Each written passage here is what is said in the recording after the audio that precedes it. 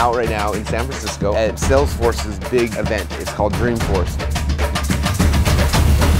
With that said, I'm gonna get some sushi and then we're heading to Metallica.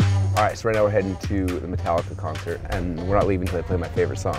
Problem is the line's gonna take 30 minutes to get in and we gotta leave in like 30 minutes. We try anyway? It's gonna take us an hour from here to get to the hotel, grab our stuff and get to the airport. Nine o'clock, nine o'clock's our, our exit.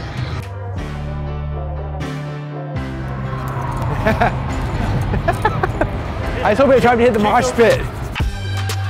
This makes me want to fight someone so bad.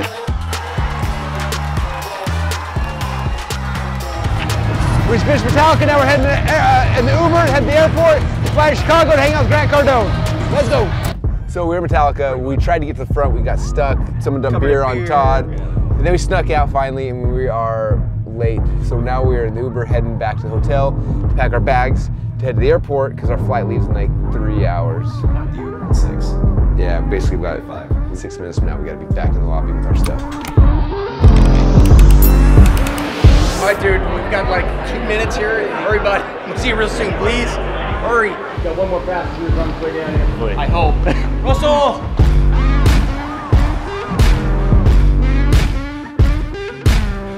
We made it. Thought we were gonna miss it. We made the flight. So we just landed in Chicago, O'Hare. It was a rough night. Dave had 57 minutes. Dan holding you right now had zero. I did the best, I think. I feel guilty now. Oh my gosh. Okay, hold on. Flashback. So 20 years ago, I was on this escalator with my dad. My senior year in high school, I was going to high school nationals, and we were going down this runway with these lights. So I took second in the country, became an All-American, which changed the whole direction of my life forever. Which got me the ability to go to a Division One college to wrestle in, which is why I went to end up in Boise, which is why ClickFunnels got built. Everything because of the trip with my dad right here. This is the cool deja vu of that moment, 20 something years ago. Russell's really tired. I- He's at having flashbacks. We're nervous, so we're gonna be on this jet, and we're gonna pass out. It'll be the first like moment of like rest for three days. Hey guys, we have a little bit of a snafu right now. I'm trying to work through. Um, and Grant doesn't speak till tomorrow. Jared's not coming till tomorrow. He's apologizing like crazy. He's saying, "Holy crap, my assistant gave you the wrong date." I'm like, "Dude, we've been talking the 27th the entire time." So, no reason to rush. Get some rest. Okay. What? So we are heading out of here. We're going to meet the founder and CEO of Pruvit at the Midway Airport on his private plane. We're flying down to Palm Beach. When we get to Palm Beach, we then will drive down to Miami, and we'll most likely end up flying back up here tomorrow with Grant Cardone and his team, and do tomorrow everything we planned on. okay. My question is, what can I do to help you get ready to go as soon as possible? Another Lincoln Navigator. We seem to be doing uh, all exclusive Lincoln Navigators this trip. All right, today, me and Nick stole Russell's camera. That's right. Well, let's give a little bit of backstory. So, today we were supposed to meet with Grant Cardone. That's not stable. We were supposed to meet with Grant Cardone today, and he actually isn't even here. So he's down in Florida, and we have nothing to do. So the plan was to get on his private jet, fly back to Boise, and to build him a funnel. So what we're actually going to be doing today is just going to go hang out in Chicago and check out the sites. Let's go! So the situation with Grant is he was supposed to be in Miami right now, but he had this opportunity to go fly up to Orlando to go take a look at some real estate. The way we know that is because on Instagram he goes live and we're watching like, oh, he's in the plane, he's coming here. And it's like, Orlando, coming to see you. thank you Instagram Live for letting us know your plans.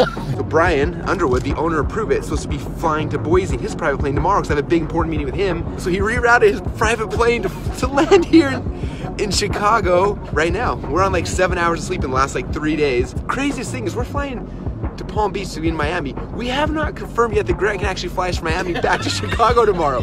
We're just hoping and praying that somehow some miracle will open up and we will end up back here tomorrow morning at nine with him.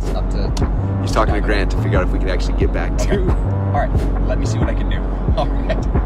Okay, this is the update. This is the live update. Live What's update. happening? So yeah, they actually can get us back, but now what they want is they want Nick and Jake to fly down, and they want to film it on the leg from Miami to Chicago. Okay, so crazy things happening around here. So we thought we had a full day here in Chicago, but now we might be flying to Miami. so we had to turn our Uber around and come back to the hotel. I wish we had a funnel for that. Good job, life water.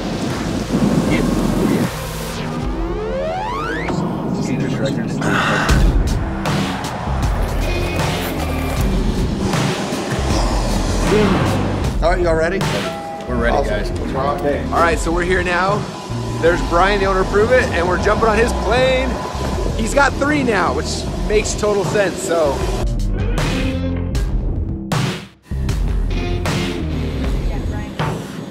We did this really cool trip to Dubai, and so like we skydived over Dubai. We did dune racing, going down like 300 foot uh, sand dunes, and then we played polo on camels. And so uh, my wife fell in love with the camels, and so for Christmas I surprised her uh, with two camels, surprise, Yeah. we have a camel. Hank and Merle. Hank and Merle. Yeah, for the country singers, Merle Haggard and Hank Williams. You want to? Uh, do, do y'all want to ex- experiment with something? Why not? Uh, yes. So this is an actual ketone ester. I think he's like drugging us. Like Seriously? I'm Yeah. not sure, but I have. Get anything I want from Russell. Ready?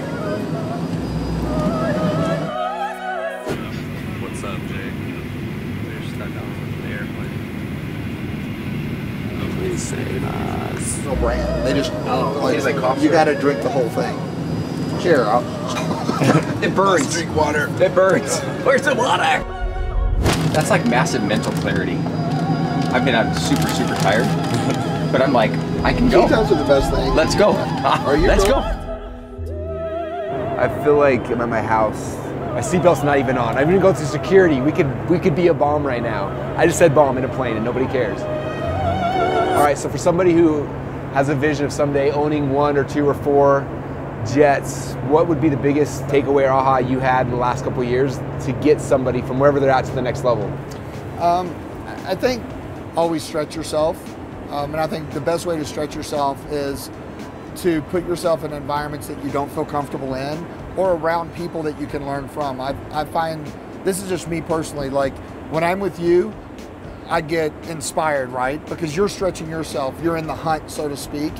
And I, I think proximity is power. I think, you know, being around the right people is super important. Like as you start having success, go back to scratch, go back to, you know, where it all started. You know, you have a very keen awareness of, of what it's all about, where your family is, you know, where you started.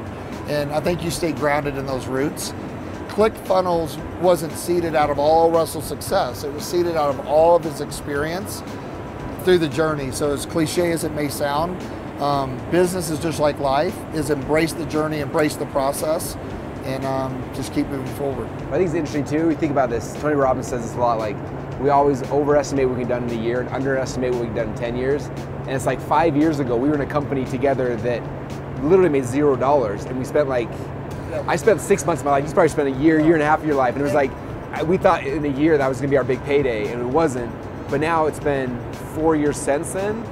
We're on a private plane, half a billion dollars in sales. I don't have a plane yet, but we're at 100 You all million hear him say yet? right? I just heard him say yet.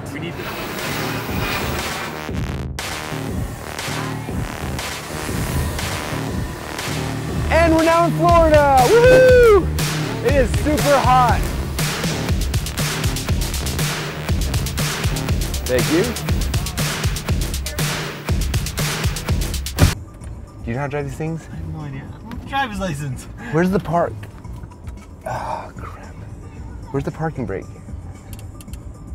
Like, Oh, there you go.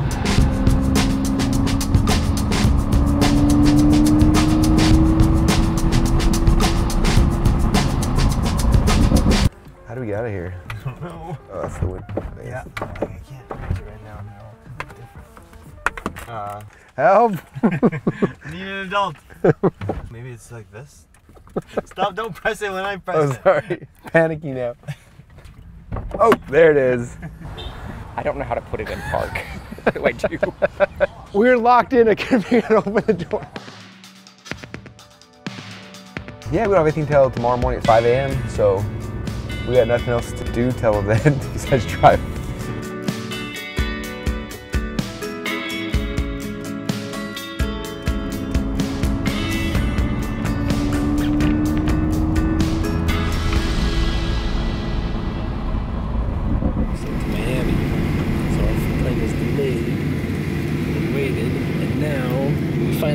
Miami, and now we're stuck. Long day. Really, really, really ready to go to sleep.